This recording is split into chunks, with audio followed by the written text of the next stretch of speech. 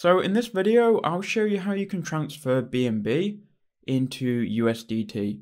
So first things first, go ahead and go to your profile icon in the top left hand corner. And just go ahead and make sure you're on Binance Pro. So go ahead and switch over to Binance Pro if you haven't already. To do that, just go ahead and click on Binance Lite and it will switch over to Binance Pro. So here we are inside of Binance Pro.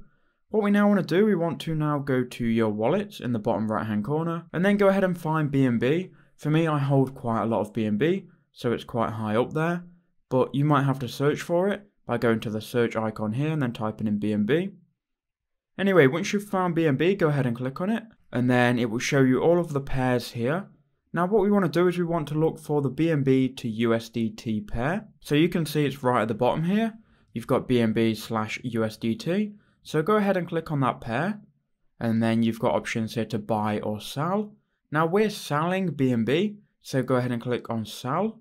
And then if you go to where it says limit just below that sell box, um, you can change it to market. And then what you can do, you can sell your BNB at current market price. So then go and enter in how much BNB you want to sell. So let's say we want to sell 0.2 BNB. You can also change with this slider here into how much you can sell. So you can sell 50%, 100%, and so on. Once you're happy with that, you can then go ahead and click on the sell BNB button. Your BNB will then be sold and it will be transferred into USDT.